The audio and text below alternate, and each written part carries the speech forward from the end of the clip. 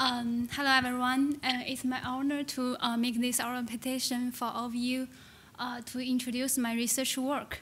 Uh, so I named it as um, a novel layered double hydroxide nano platform uh, working at the ultra-sensitive T1 MR contrast agent and the theranostic agent uh, for mass tumor diagnosis and the complete treatment. Uh, so the first part is the exploration working as a uh, uh, contrast agent. So uh, the left one is the uh, technical machine in the hospital for the MR um, magnetic resonance imaging. Uh, so, but how it works, when the people lay on the table bed, the hydrogen atoms in human body will be activated and finally generate this red imaging like this one. But actually, uh, only hydrogen atoms in our human body is not enough to uh, generate an accurate uh, diagnosis. So that's why we need the assistance of contrast agent um, to improve the uh, diagnosis accuracy. So normally, the most popular in the hospital is the T1 intravenous contrast agent. Uh, uh, that is uh, uh, extracellular agents.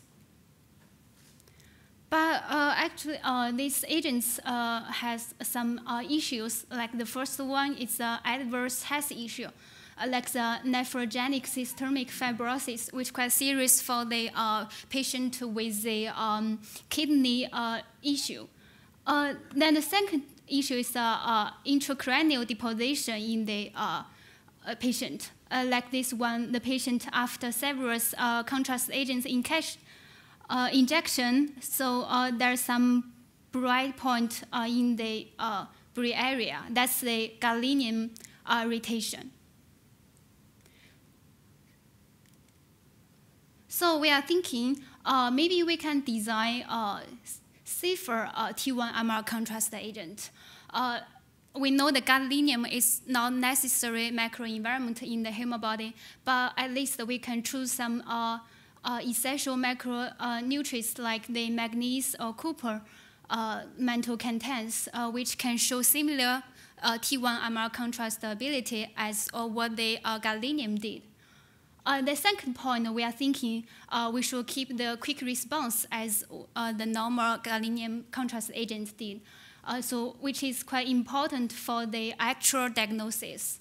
Uh, so we think uh, maybe the ultra sensitivity pH response can achieve this uh, goal. Like uh, because of the uh, upregulation of metastasis in the tumor microenvironment, so the extracellular pH is a little acidic, like which is around 6.4 to 7.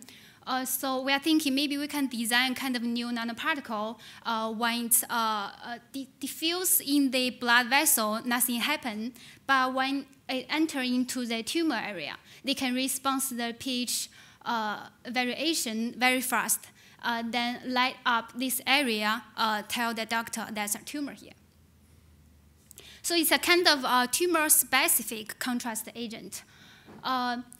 Then the third point, uh, we know um, we want uh, prolong the uh, imaging response time.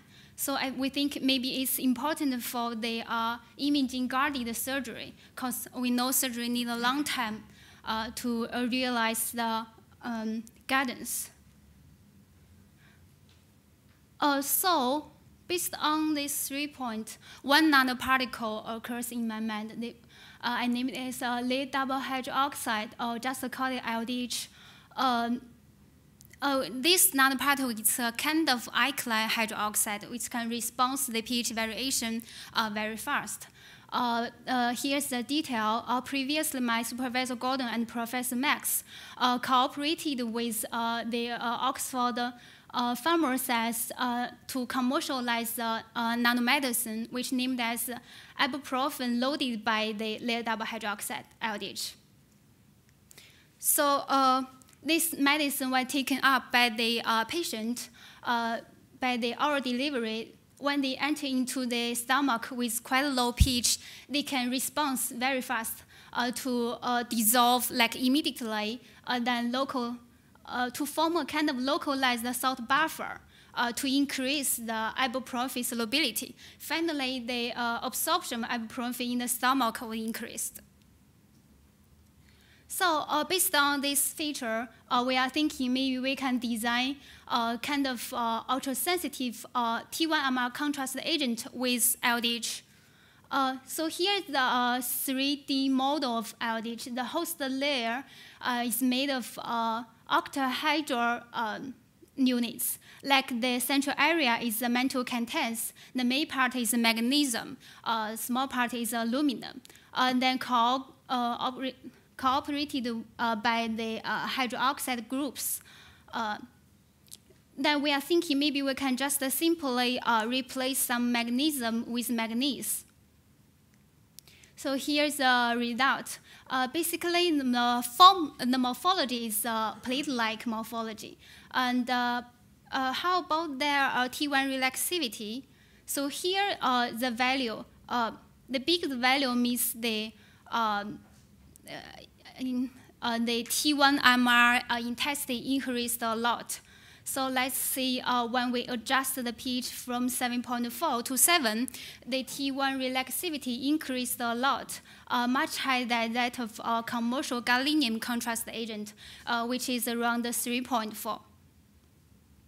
So the first goal, ultra pH sensitivity working as a T1-MR contrast agent looks worked.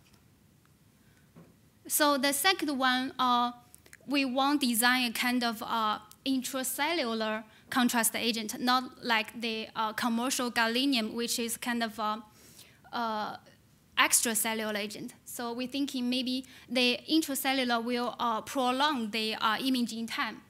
So we tested the uh, cellular uptake of the nanoparticle. the manganese LDH loaded by the Cy5 by the confocal test, we realized uh, this nanoparticle can be uh, taken up very well.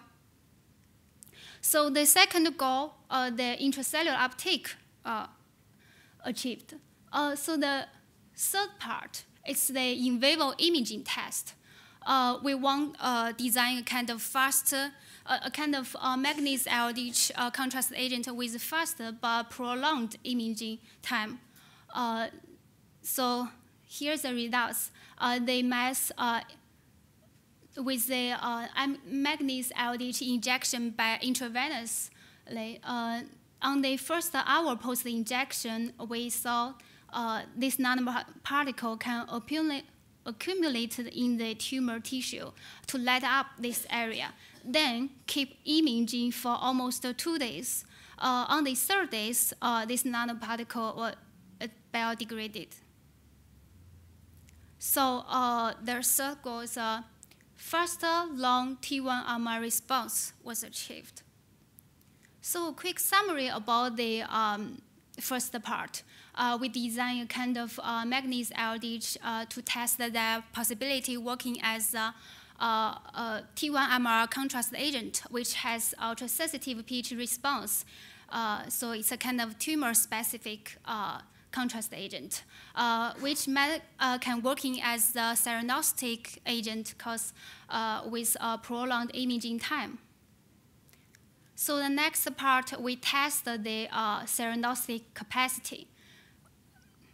Here we just simply uh, replace the manganese part with the copper uh, contents.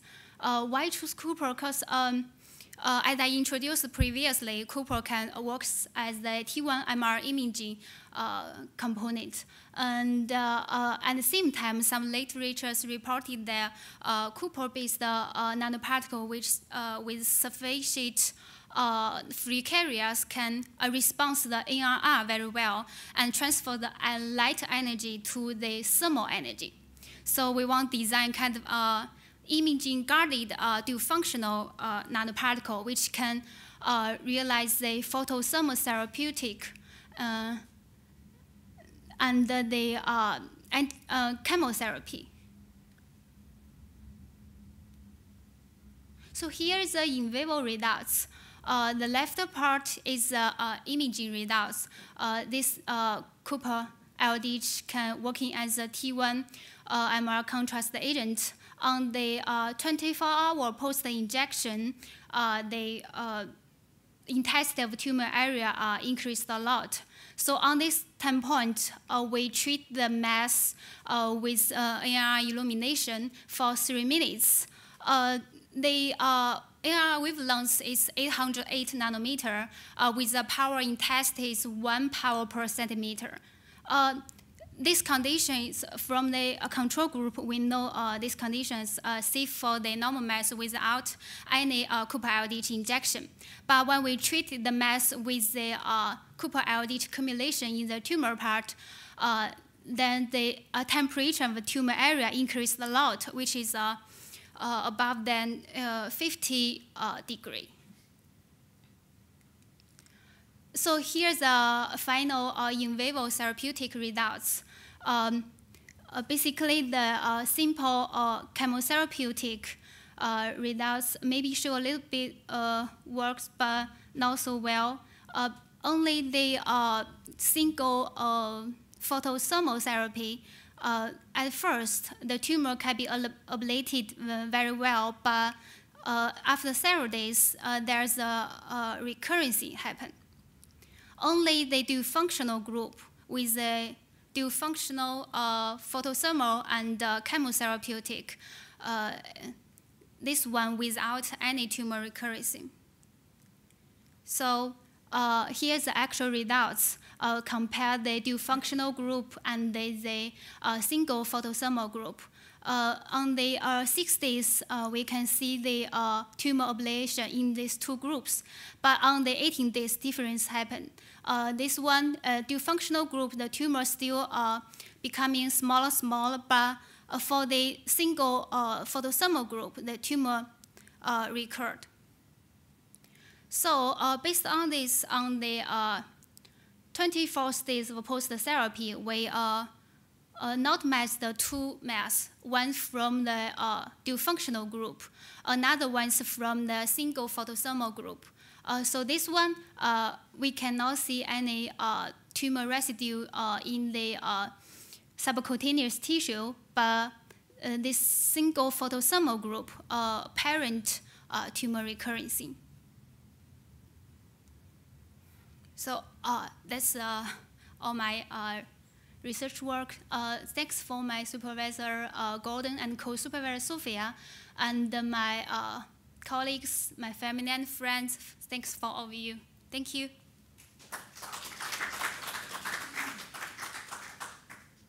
Thank you very much for this very nice talk. So we have time for some questions. So any questions from the audience? Okay, let me just ask you one question. These uh, particles that you have made, how, how big are these particles? This particle? Uh, the first one is just uh, uh, 50 centimeters. Here, I will show you the TEM readout. Uh, here. Right. See the scale bar. Uh, the 15. The, the next one, because we want design more uh, defects, so the nanoparticle size uh, much smaller, maybe uh, 25 right. nanometers. So for, for this imaging, I mean, do you have any idea how much is really accumulating in the tumor yeah, and what happens to the rest of these particles? Um, actually, with did uh, the uh, biodistribution about nanoparticle. Mm. Uh, the accumulate amount, uh, oh, sorry, the accumulate amount which is around 3.6% uh, of uh, nanoparticles in the tumor area. the left part, most of them are accumulated in the liver. Uh, but after several days, they will be degraded because it's a kind of uh, yeah, no, alkali hydroxide.